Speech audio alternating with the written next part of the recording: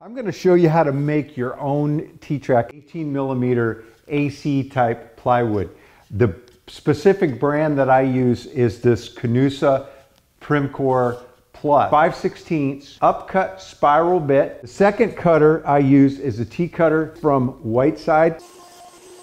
That's the first cut. Now I'm going to change cutters.